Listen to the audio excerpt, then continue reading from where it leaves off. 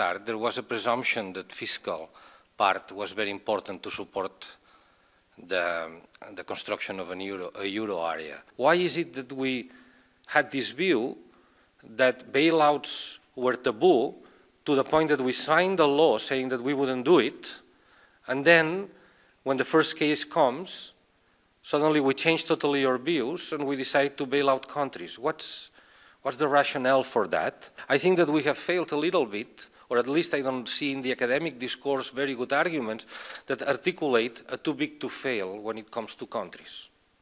When is it that we don't need to let a country fall? Banks had another role, which was the role of um, providing liquidity in the event of crisis. Now, that missing pillar of, you want, of the European Central Bank has become, we have become painfully aware in the crisis that we are today. And that's why we need some sort of joint or general supervision or banking union, because what has happened is that the same countries have been the responsible for providing this liquidity, and this is why um, the financial crisis has somehow moved to a sovereign debt crisis.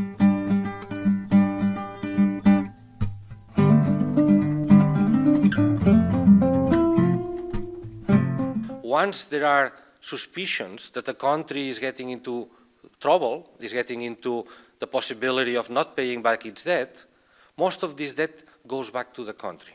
But that has very severe problems because the countries that are in need of financing, they are de facto paying back the debt in advance. Because when you need money to finance your firms, to finance your, your, your government, to finance additional things, the banks just find it profitable to buy the country's debt at a discount, and this financing becomes scarce to the domestic country.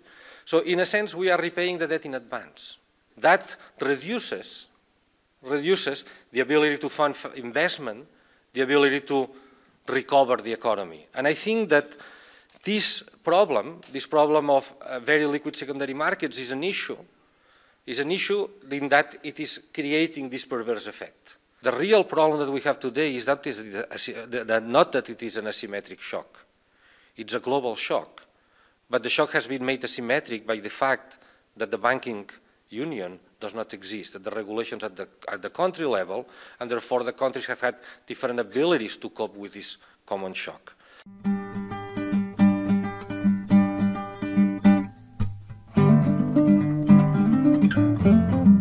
Definitely we have a future for the euro. I don't think there's any doubt about it.